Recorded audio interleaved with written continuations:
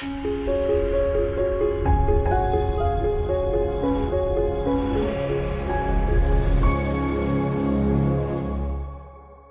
家好，今天是美西时间十二月二十三日，欢迎收看第二期《望维读报》，我是 Cherry。自美国大选爆发违规乱象后，曾被称为“红州”的乔治亚州意外成为焦点之一，先后传出了种种丑闻。乔州州长坎普、州务卿拉芬斯伯格，尽管身为共和党人，在口头上一直是支持川普，但他对待选举欺诈，尤其是验证选票签名的态度摇摆不定。对此，美国总统川普也多次将矛头直指两人。不过这两天，两人相继公开表态支持川普，并宣布取消该州的缺席投票。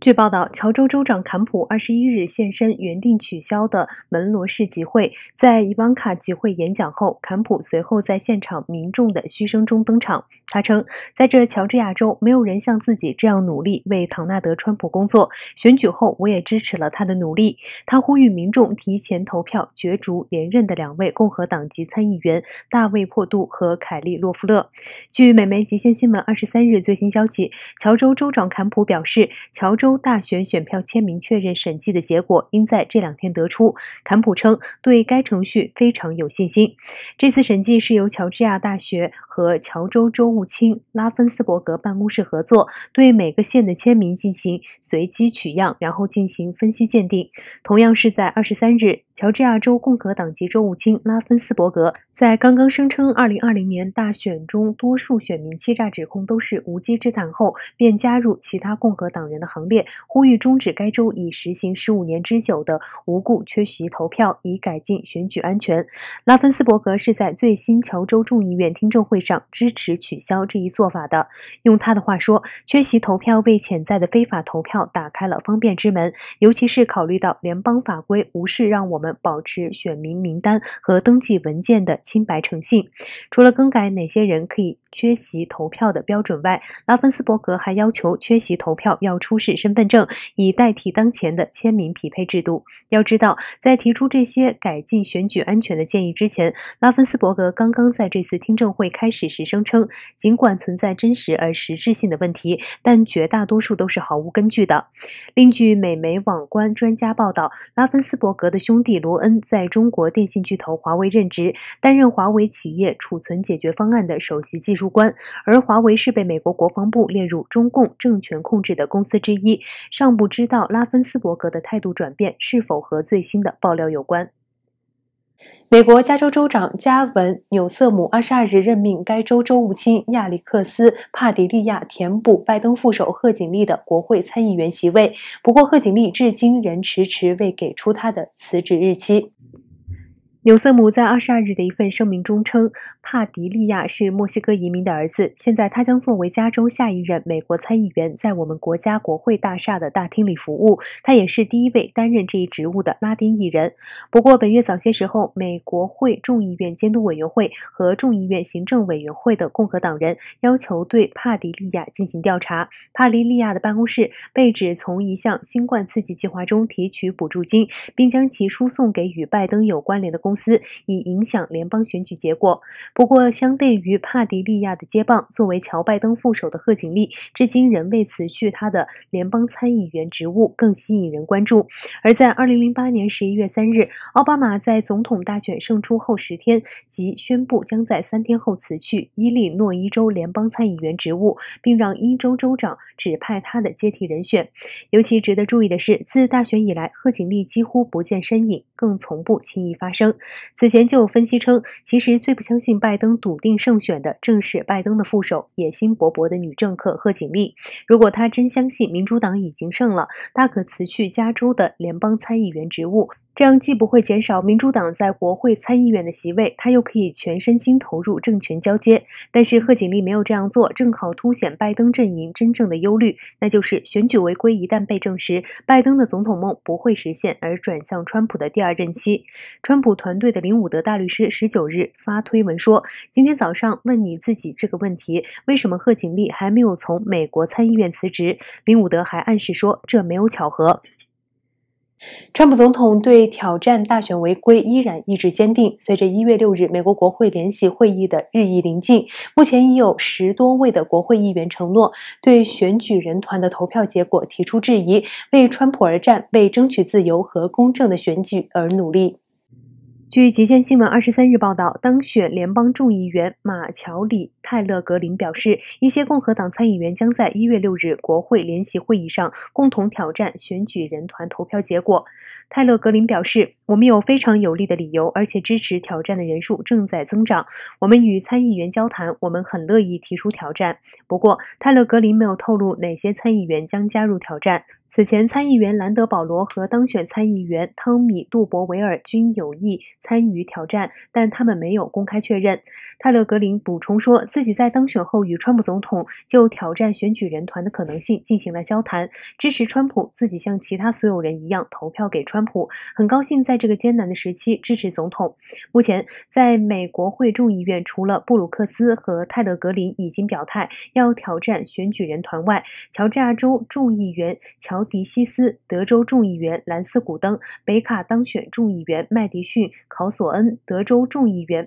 布莱恩·巴宾、北卡众议员泰德·巴德、亚利桑那州众议员安迪·比格斯等已经表示将加入挑战。当选参议员阿拉巴马州的塔博维尔。肯塔基州的参议员保罗也已经宣布将会加入挑战行列。如果反对意见符合要求，联席会议就会暂停，两院各自退场开会辩论，选择是否投票支持反对意见。除非两院都以多数票支持反对意见，否则就会失败。如果通过，则使该州的选举人团票无效，或可导致替代名单被接受。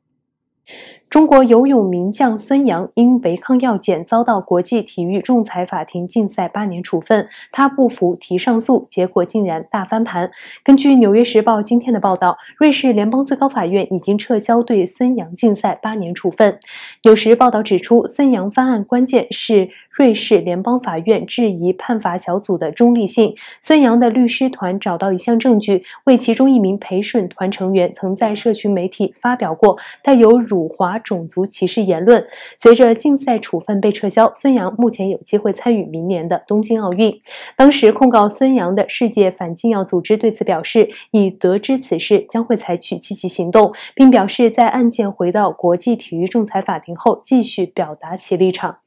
号称近距离保护习近平的御林军北京卫戍区司令员，历来都必须是中共最高层信任的人。随着中共最新一批上将晋升，现任北京卫戍区司令员傅文化也备受关注。据港媒披露，傅文化背景神秘，可能曾隐瞒现役军官身份，用假名在德国留学，而习近平为他大力掩盖。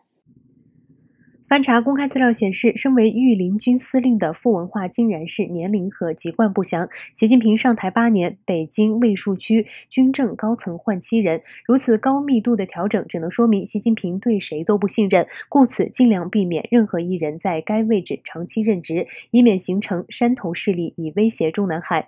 总部在香港的中国人权民运信息中心十九日披露，北京卫戍区司令员傅文化可能隐瞒现役军官身份，用假。假名在德国留学，习近平极力隐瞒他的这一背景。港媒指出，北京卫戍区副文化司令员履新消息在七月公开后，当时连《环球日报》总编辑胡锡进这些自称消息极其灵通的人士都傻了眼，因为这样重要的事竟然胡某不知道。于是，中国数百记者多方去打听，想知道傅文化是什么背景，但后来连他年龄都没有报道出来。报道认为，傅文化之所以成为被中共传媒禁止报道的对象，原因仅仅是一个，因为傅文化可能隐瞒现役军官身份，用假名曾在德国留学，因为德国绝无可能知道其中共现役军官身份而批准他留学德国学军事，而习近平为隐瞒他这一背景，不得不去隐瞒他的资历，连军报和中央电视台也不能采访他，而这也暴露出习近平在军中极少有亲信，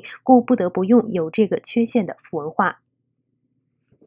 中共证监会二十二日开会定调，二零二一年资本市场工作重点，要求增强财富管理能力，促进居民储蓄向投资转化，作为扩大内需的助力。有中国独立财经评论人士表示，居民存款又被盯上了。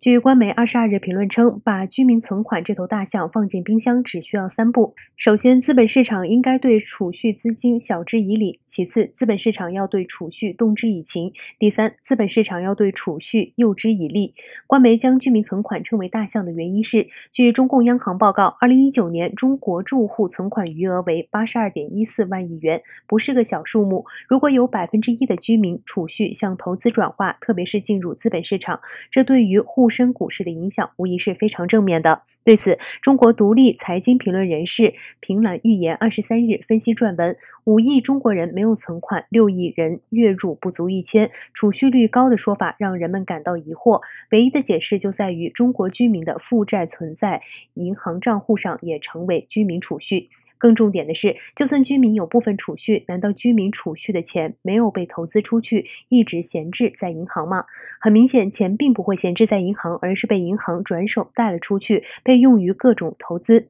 居民储蓄早就转化成了投资，也就是说，无论证监会有没有发文促进居民储蓄向投资转化，居民储蓄都早已转化成了投资。那么，为什么证监会还要发文促进居民储蓄向投资转化呢？对此，平兰没有给出答案，只是说：“你品，你细品。”《华尔街日报》二十三日发表题为“微信已成为中国无处不在的监控利器”的文章。文章引用多个事例指出，中国著名应用软件微信俨然已经成为中共政府无处不在的监控公众、审查言论和惩处意见人士的工具。文章写道：“如今中国人的日常生活却越来越依赖微信。随着疫情期间远程办公和学习的兴起，微信在中国社会的主导地位更加根深蒂固。但同时，出于对微信监控的不安，一些用户今年初发起了逃离微信运动，呼吁大家转移到不受北京当局干预的外国软件平台。”但是很快，行动的发起者就被当局传唤，行动几个月便告结束。澳大利亚战略政策研究所分析员瑞恩说：“微信使用的不是端到端加密，而是客户端到服务器的加密，这让腾讯可以完全访问发送方与接收方之间的数据。”据劳工和妇女权益律师王胜生表示，中共有关部门今年早些时候对他的微信和短信实施了监控，试图收集证据，阻挠他的法律事业。他说，他老家的公安和纪检官员还追踪到他父亲的头上，就想要毁掉他的名誉。之前大家都说微信是透明的，但自己没有想到透明是什么意思。一直到出现最近的这个事情，这里的主要机制不是法律，而是恐惧。文章援引腾讯公司的数据，微信目前在全球拥有超过十二亿活跃用户。该公司另一款短视频应用 TikTok 在美国也相当流行。川普政府今年九月出台对微信和 TikTok 的禁令，指其获取用户信息和实施审查，后因禁令在法院受到挑战，至今尚未生效。好了，以上是本期望维读报的全部内容，感谢大家的收看，我是 Cherry。如果你喜欢我们的节目，欢迎您点赞和转发我们的视频，我们下期节目再见。